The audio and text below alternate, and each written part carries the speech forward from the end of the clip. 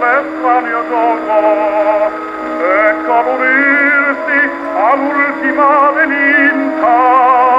la corona cingere confidò o fare impresa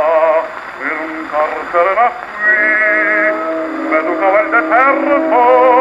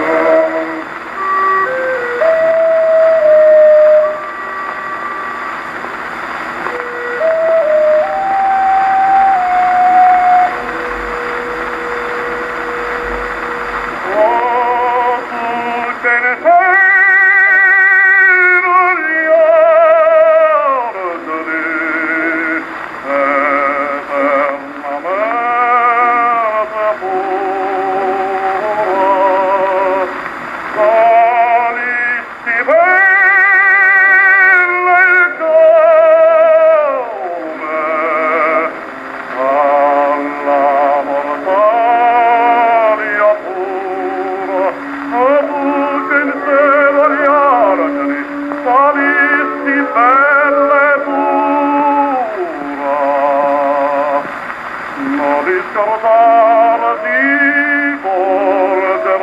non sua meta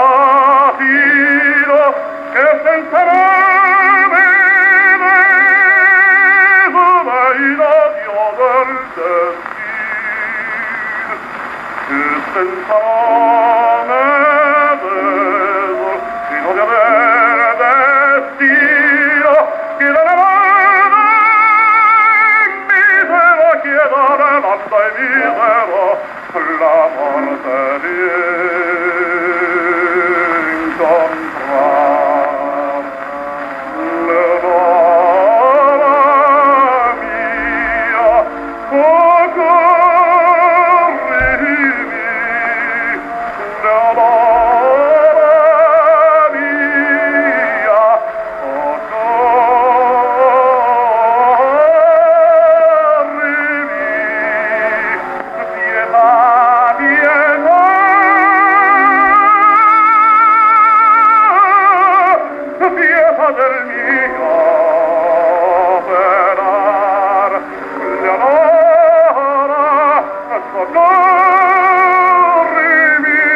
tu piedad.